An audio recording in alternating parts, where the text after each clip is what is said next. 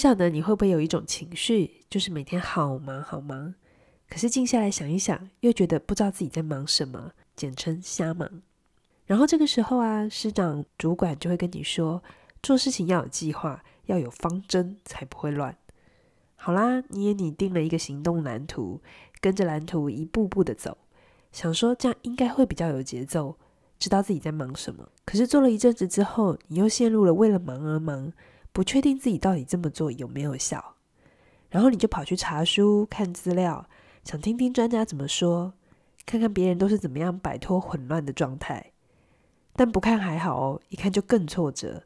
专家达人都跟你说，你要有宏观的思维，大处着眼，小处着手，一定要有脉络思考的能力。但是你连叫你家小狗卖差都办不到了，怎么能搞得清楚脉络到底是怎么回事？真的是越听越糊涂。嘉玲以前也有这些镜头，再加上我个性急，常常没有多想我就冲出去了，然后就会被我的同事啊、老板啊说我是为了做而做。但直到我学会了一件事情之后，我才打开了我的逻辑思考的能力。在进行任何计划之前，我都先想清楚最重要的关键是什么。想知道这个能力是什么吗？答案是写作。最近读了一本书，叫做《写作是最好的自我投资》。作者叫做陈立飞，他的文章呢在社群平台上曾经被转发过上百万次，而且不止一篇哦。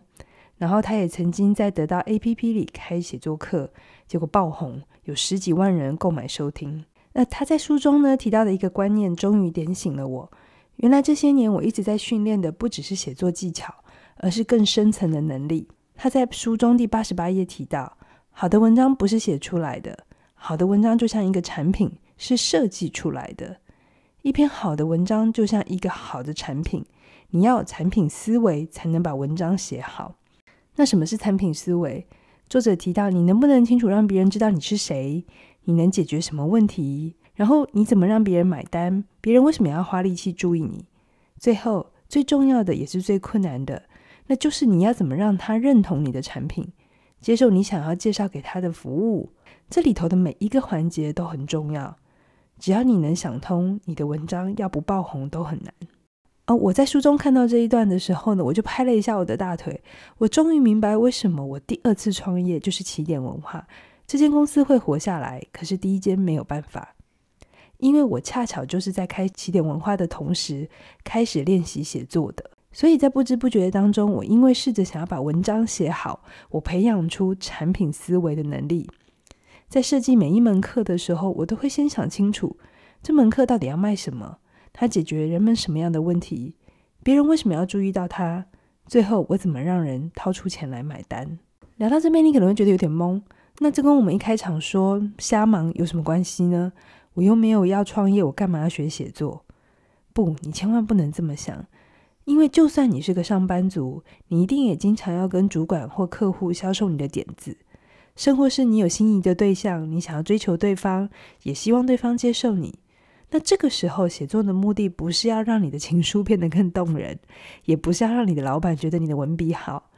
写作的目的是为了要帮你厘清你画的重点跟对方想的一不一样，不要你一头热，结果对方一点感觉都没有。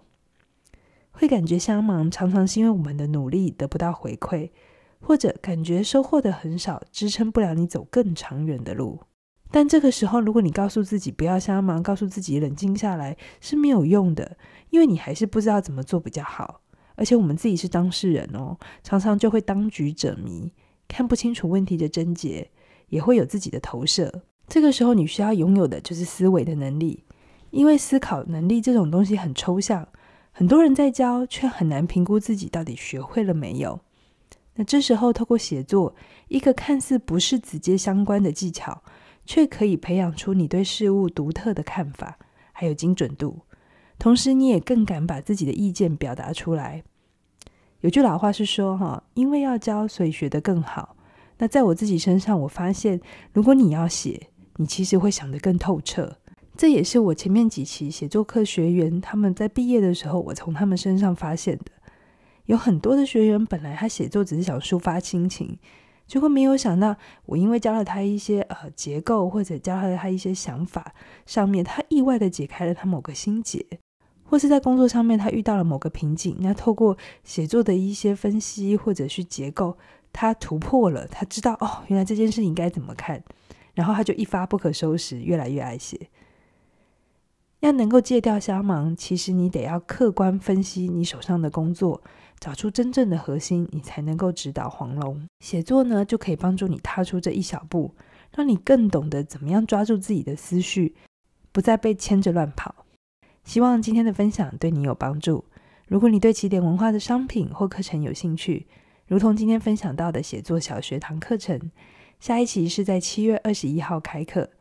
是由我和另一位资深的编剧一起开的课程。我们不只是教学，还会亲自回复你每一份写来的文章，给予回馈，是量身定做的规格，所以名额非常的有限。希望你能把握这最后的机会，期盼在教室里见到你。最后，如果你喜欢我制作的内容，请在影片里按个喜欢，并且订阅我们的频道。别忘了订阅旁边的小铃铛，按下去，这样你就不会错过我们所制作的内容哦。谢谢你的收听，我们再会。